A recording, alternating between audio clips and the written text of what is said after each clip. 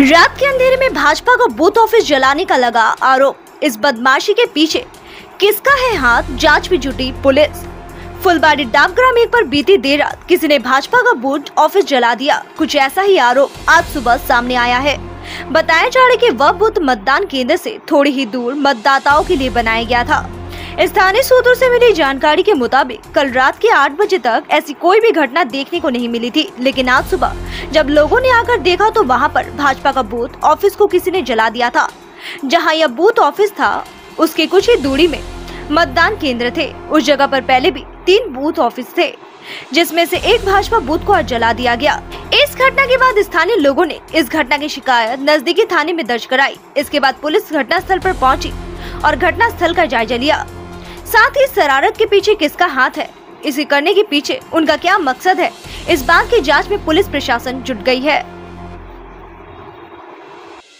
এটা আমাদের ডাব ডাবগ্রাম ফুলবাড়ি ওয়ানের এইটটি এইট নম্বর বুথ বুথের আমি আহ, বুথ সভাপতি বিজেপি তরফের এখানে আমার বুথ বানানো হয়েছিল রাত্রি আটটা পর্যন্ত আমার বুথ সব কিছু ঠিক ছিল সব কিছু রেডি করেছিলাম সকালবেলায় আমাদের ইলেকশন শুরু হবে এখানে আমি ভোর চারটা কুড়িতে এসেছি, এসে চেয়ার টেবিল রেডি করার জন্য দেখেছি আমার চেয়ার টেবিল থেকে শুরু করে ব্যানার সব কিছু জ্বালিয়ে দিয়েছে। আপনার নিজেরা চোখে দেখুন দেখুন এখানে পুরো বাস জ্বালানো।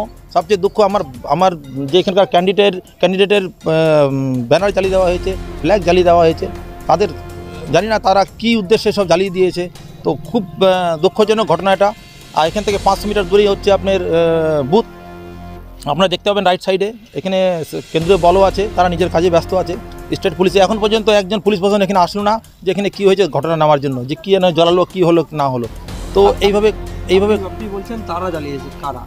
এখন কারা জ্বালিয়েছে বলতে পারছি না তো আমরা চোখে দেখিনি তো। আমি তো রাত্রি আটটা পর্যন্ত সব দেখে গেছি করে সারাদিন খাটাখাটি করেছি। সকালবেলা আমাকে ভোর চারটা থেকে আবার রেডি করতে হবে কেন সব লোকরা আসবে হ্যাঁ আমাদের হ্যাঁ এখন কারা এখন আপনারা সবাই জানেন এখন কারা কাদের নাম বললে তো এখন কি বলেন তো?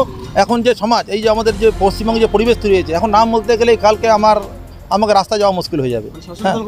এখন আমি কাউ কাউ- কাউকে দোষ দেবো না। এখন শাসক দলেও তো আমি দোষ দেবো কী করে? এখন কেউ আছে যে বদমাসি যে আমাদের পরিবেশটাকে নষ্ট করে দিতে চায় আমাদের সমাজটাকে নষ্ট করে দিতে চায় আমাদের এত শান্তপ্রিয় গ্রাম একে অপরের সঙ্গে মিলে চলি।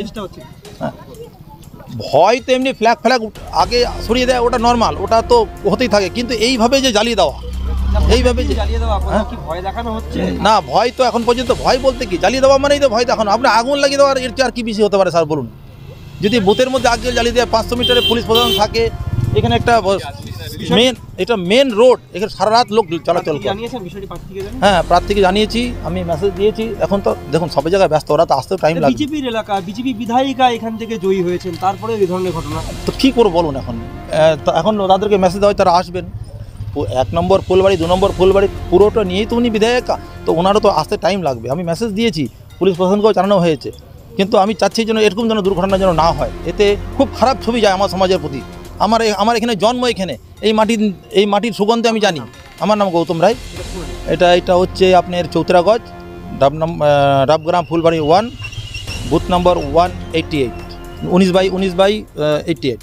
গ্রাম পঞ্চায়েত আমাদের এখানে গ্রাম পঞ্চায়েতে আছেন আমাদের